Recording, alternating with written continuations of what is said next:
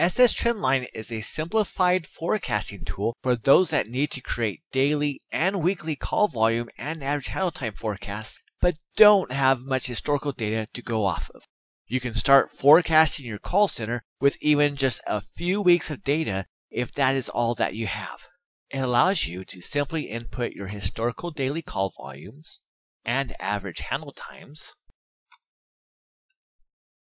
exclude special days and holidays from your typical distributions, and document historical days accordingly. The system then charts out your daily volumes and creates a daily forecast that includes trends and day of week patterns. This thick green line shows what your actual volumes have been, and the thick reddish line shows what your forecast is. You get to customize this forecast by determining what range size you want to use to determine the patterns, either short, medium, long, or an extended range. We'll go with medium. You determine if you want to determine the day of week patterns based on the selected date range, or if you want to use all the data in your history in determining the day of week pattern.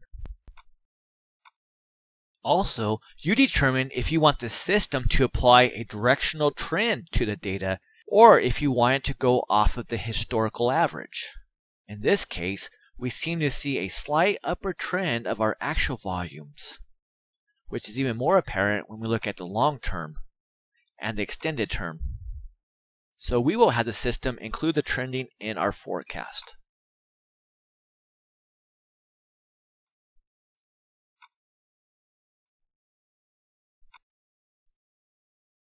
There is also a special week tool that allows you to plug in what historical weeks you want to use to determine how to forecast a particular week. So, if you are forecasting for Labor Day, you might want to pull a couple of previous holidays.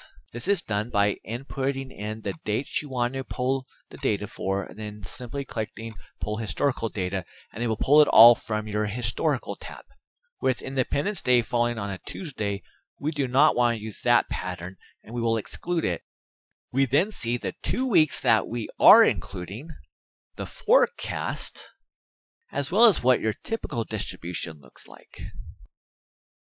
You can include up to seven weeks to compare and also use this for any week that might have a special event that changes the day of week patterns. These same tools are also available to generate a forecast for average handle times as well.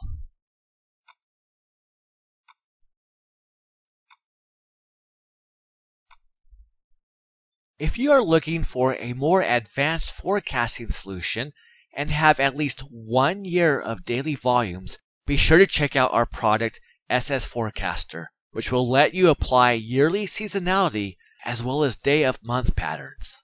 Be sure to check out these products and many others at spreadsheetscheduler.com.